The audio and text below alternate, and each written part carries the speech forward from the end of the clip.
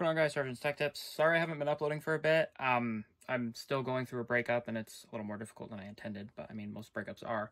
So I'm actually going to be doing a keyboard review. It's the Chonchow, I think, keyboard? I don't know, it's an RGB keyboard. I bought it off Amazon. There will be a link in the description below if you guys would like to buy it. Uh, it's pretty cheap keyboard. It's like 35 bucks, 32 bucks for a mechanical decent keyboard along with the mouse. And I did get a new monitor, and I will be doing a review on that anyway, but I'm going to show you guys anyway. Alright, so, here's the keyboard. Uh, my first initial impressions are the sound. I think it sounds fine. Uh, it is a little loud here, but you can also remove the switches very easily, which is nice. And uh, I don't know where mine went, but I have a uh, key switch remover. And here's a mouse. I think the mouse is actually really decent. You can change the LEDs with this button. And I use that one because my keyboard's doing this. And if you want to change the colors on the keyboard, you just hold down function and click scroll lock. And it'll do like some cool effects. Not all of them are nice, but I like to use certain ones. That one's cool. And you can change brightness by holding the function key down, and I think it's page up and page down. No, it's not page up and page down. It's uh, it's one of these. No, it's not. There is a way to turn down the brightness. Um, when you buy it, you can actually check the user manual and figure that out yourself. But I just think some of the um, effects are actually really nice to have. And I'm going to do some B-roll in a minute with the uh, colors. But typing on it is not horrible. It, I mean, I type pretty fast on a keyboard anyway, so it doesn't really bother me. It is a little loud at night, but honestly, I really don't care. Here's the monitor, by the way. Uh, it's an AOC 165 hertz. That is my secondary monitor. I got coffee and my headset on the desk, but yeah, I'm drinking coffee at 4 p.m. But, um, but yeah, so here's the keyboard. Uh, it's very durable, in my opinion. I don't really feel any flex. I mean, if I, there's no flex in it at all if I press down on it. And the back of it, I mean, it's kind of a simple design, but I think there is some cable routing. There is no cable routing. There is a little cable routing here, but here you can see the model number. Uh, it does have these, but I don't use them because I think it's already high up enough with the keyboards. And yeah, it does have a wrist rest, which is removable, but I'm not going to remove it because it's a pain in the ass to put back on. All you got to do is slide it in, and it's got these little hooks. I actually really like the wrist rest. I think it's super comfortable. Um, it's a really good keyboard for the money. There will definitely be a link in the description if you guys want to check it out. I'm only doing this video because I really don't have anything else to record, and I just wanted to get a video out for ad revenue purposes. But yeah, it's a good little keyboard. Uh, I've been playing Warzone for probably a month on it. Actually, a little bit longer than that, or a little bit shorter than that, because I didn't buy it that long ago. It does attract dust really quickly, but that's fine. Get air duster, get a microfiber cloth. You can put like a drop of water, isopropyl alcohol on it and just clean off each individual key. And the air duster should work. I mean, the keys are kind of annoying to clean, but you can also take them off and clean them if you have to.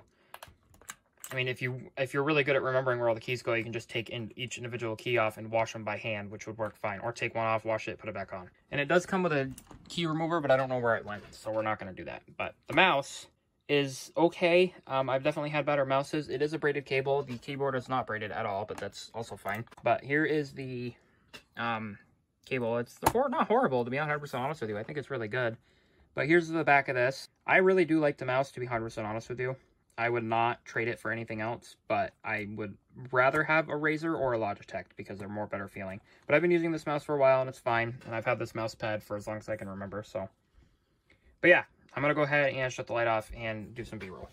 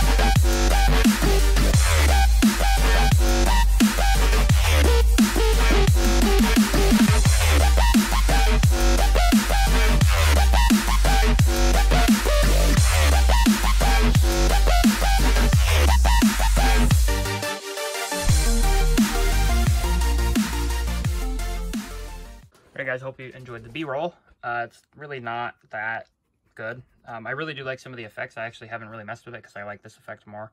But I'm going to go ahead, turn the camera around, and I'm going to show you how it is to type on it and how it sounds very quietly. But first I'm going to do the sound test. So just, I'm going to be extremely quiet and you're just going to listen to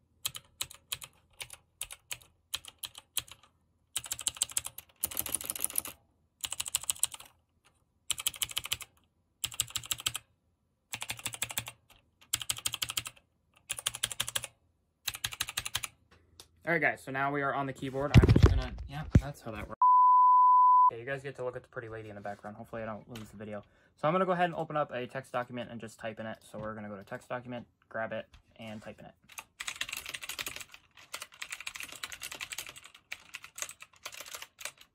Sometimes I have issues typing on it, but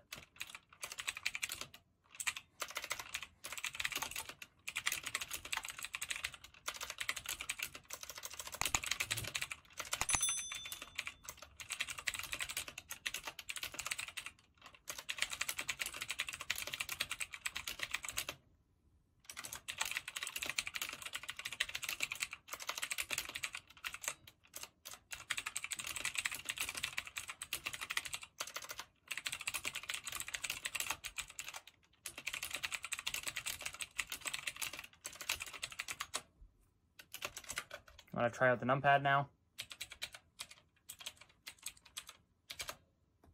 Numpad's not horrible. Uh, we also got up here. The backspace is really nice as well, so that's just something you can look out for. And just, you know, it, it's a really good feeling keyboard. And as I said, there's like no play. I cannot bend this at all. Like, I can't bend it at all. Oh, I just typed something.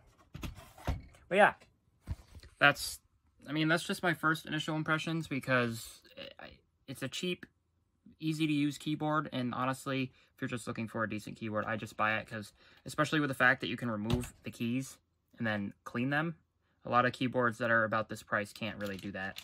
Uh, I can actually go on Amazon and look up the price. Just give me one second. All right, so I bought this keyboard on December 12th, 2020, and I've had it since then, and I have been using it. So I bought this for $35, I think. Let me go to the thing. So, uh, $37.99. So I bought it for 38 bucks, and I think right now the price is 38 bucks, from what I remember.